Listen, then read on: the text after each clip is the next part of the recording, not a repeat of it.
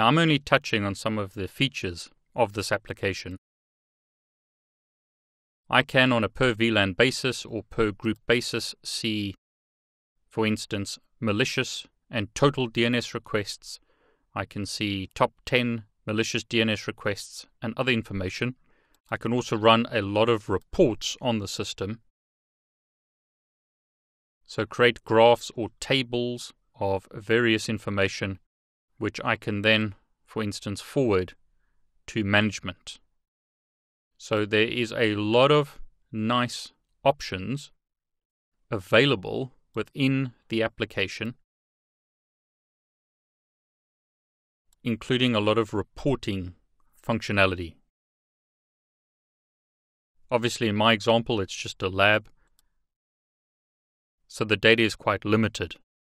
Network Protector doesn't just intercept DNS queries, you can also configure other options so you can create access lists, you can permit or deny traffic between hosts within the same subnet or between subnets. You can set quality of service settings.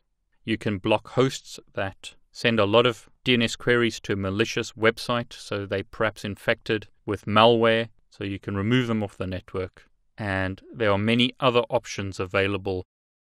But I just wanted to introduce you to another use case of OpenFlow and SDN